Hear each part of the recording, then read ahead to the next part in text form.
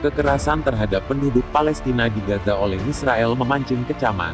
Dari dunia sepak bola, beredar video Cristiano Ronaldo menunjukkan keberpihakan. Cristiano Ronaldo diklaim selalu mendukung Palestina. Dalam beberapa kesempatan bahkan beredar kabar bahwa ia menolak bersalaman dengan Presiden Israel dan menolak bertukar seragam dengan pemain timnasnya.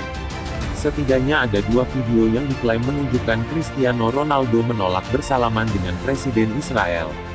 Video pertama adalah saat Ronaldo masih berseragam Real Madrid.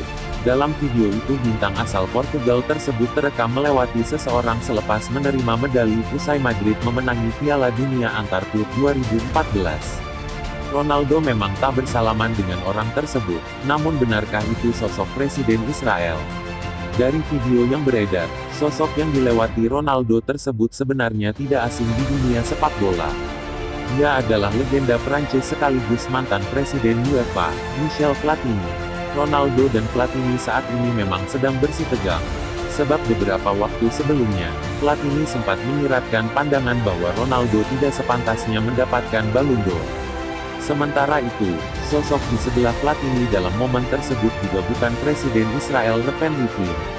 Bagaimana dengan video kedua? Video kedua direkam saat Ronaldo menerima medali runner-up Piala Super Italia pada 2019 silam. Kala itu Juventus kalah 1-3 dari Lazio dalam pertandingan yang digelar the Coca-Cola Super Cup as the Bianconeri and Biancocelesti meet for the fourth time in seven years in this showpiece of Kekalahan itu diduga membuat Ronaldo begitu kecewa, sehingga ia langsung mencopot medali yang baru dikalungkan. Karena sibuk melepas medali, ia pun tak menyambut ajakan bersalaman. Namun dari cuplikan yang beredar, sosok tersebut juga bukanlah Presiden Israel. Dalam video lainnya, pemain 36 tahun itu juga diklaim pernah menolak ajakan bertukar kaos dari pemain tim nasional Israel.